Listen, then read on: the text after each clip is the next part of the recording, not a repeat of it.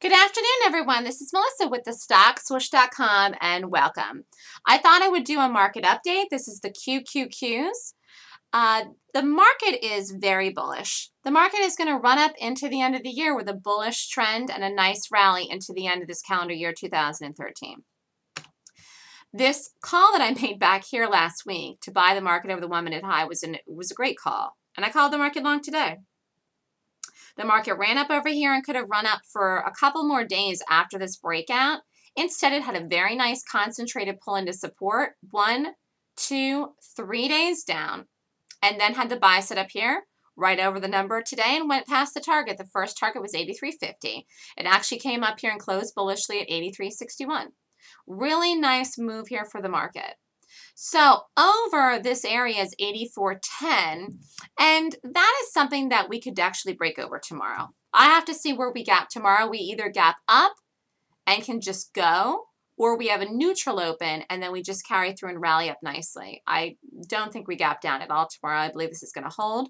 We could have even come in here and retested this area here before we held bullishly, but you know, we didn't even do it. I mean, this is just strong and it's ready to break out higher. So bullish day in the market tomorrow for sure. Just not sure how we act out of the open until I see it. The trend of the market this year has been bullish all year. And guess how it started? It started with a bullish gap on January 2nd. That was the start of the calendar year of the market. It is so important to understand gaps, how to read gaps, how to know which gaps are good gaps, whether they're bullish or bearish, how to know how to take positions in gaps, or how to know just to read the trend in a chart based on the gaps. The one thing that's interesting is a lot of people do not understand gaps. First of all, they don't understand them or have a misconception about reading them, meaning they read them incorrectly. Or two, uh, people don't give them enough weight. And actually, gaps are very weighty in charts. One of the reasons I am so skilled at reading price is because I know how to read gaps well. That has enabled me to become a very successful trader and to be able to read charts and get good at technical analysis readings and to predict things like way before they happen, to see them happen, like to see into the future and see they're going to happen because I know how to read gaps. So looking here at a bigger time frame here the market, let's pull back here where we're going next.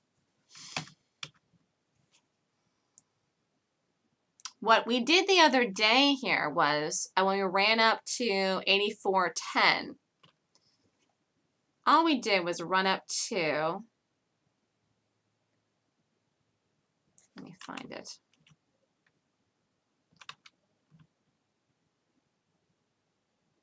Where's this area back in here?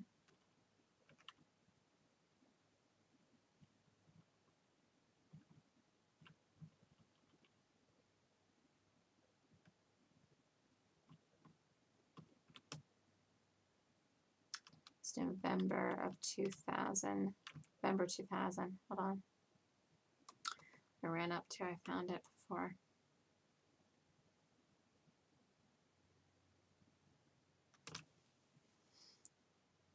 Here.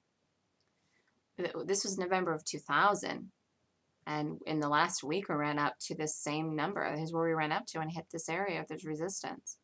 So we're going to break over this. So after this, the next area is actually up here around 88.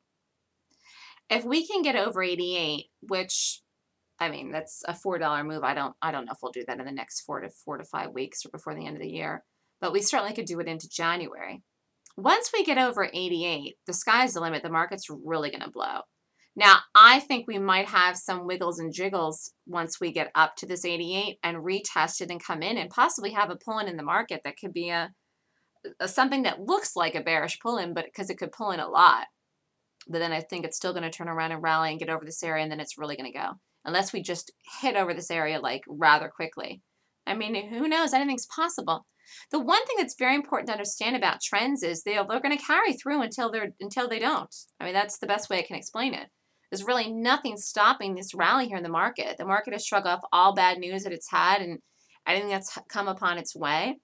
And uh, it's been bullish all year. And it's so interesting if you look at the bigger picture here, the market, you see that we didn't have some uh, vertical leap. Everyone was saying, oh, we're, we're, we're too extended, we're too extended. You see here that we're not too extended. In fact, you see this nice bullish gap here with the rally and the bullish gap here that held that even this that appears extended for the short-term time frame wasn't and has held and is going to hold and is holding. See this one back here holding? Look at this. It's the same kind of look here. This look here and this look here is the exact same kind of look. You know? So you got to know how to read gaps. To read that like this bearish gap here wasn't real or going to follow through. To read that these bullish gaps are going to hold. I mean, understanding charts is so important whether you're a day trader, a swing trader, or core trader. I think anyone that participates in the market should understand gaps if they want to be aware of their own investments or make decisions about their own investments and specifically about their trading.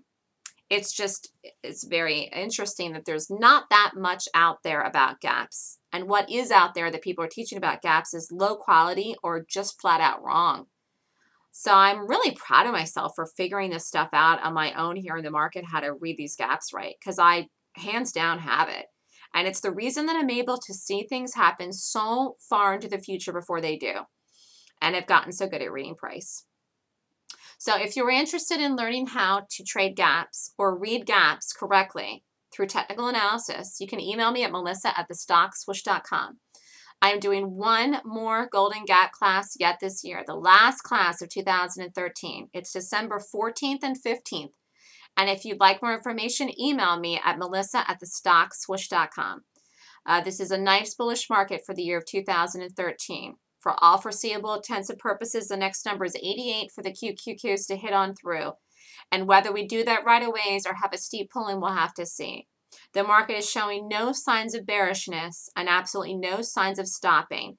And if we get over 88, or when we do, if we do it, we'll have to see how we act at that point. There's the market's going to rally big time. And I don't know if we're going to get over 88. We didn't do it yet. And I think we could have a steep pull in when we hit that number. Where, when that's going to happen, we'll have to wait and see. For now, nice bullish market that should carry us through into the end of the year. And, and since we, it's a $4 move here, I don't know if the market's going to be able to do it before the end of the year, but it could. It certainly could. It has enough time to do it if the momentum wants to come in.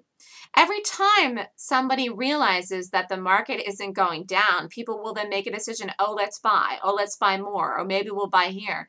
And this is why then people get in later later and later and later and later and people are like, oh crap, I should have gotten in there, I should have gotten in there, I should have gotten in here. And then they finally say, forget it, let's just get in. Because they don't want to miss any more of the move, but they've already missed half the move anyways. Do you see how this is what makes extended rallies and then things keep going and going and going and going and going?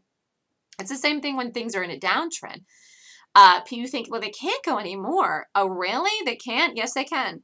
Yes, they can.